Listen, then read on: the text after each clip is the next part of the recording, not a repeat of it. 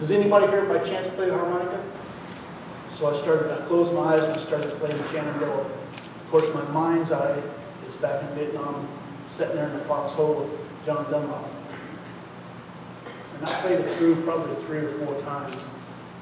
When I was done, I touched John's name again and I saluted. And I looked and there were like 300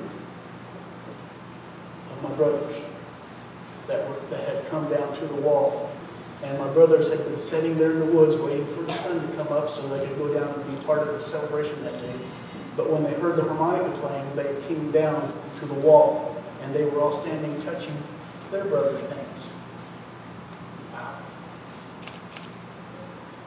I have the privilege of playing Shenandoah for my brothers often.